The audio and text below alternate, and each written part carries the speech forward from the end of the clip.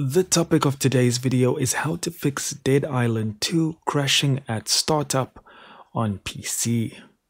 Alright, so what we want to do is make sure the game is completely closed and then we are going to go to search and we're going to type in control panel, click in that. Then we're going to click on Windows Tools.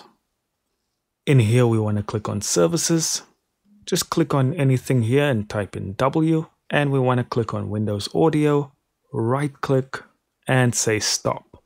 This is going to completely cut off your audio. What you want to do now is go into your game, let it load up past the screen that it gets stuck on, and then still keeping this tab open, come back in here and just hit start. And then you'll have your audio and your game will be functioning.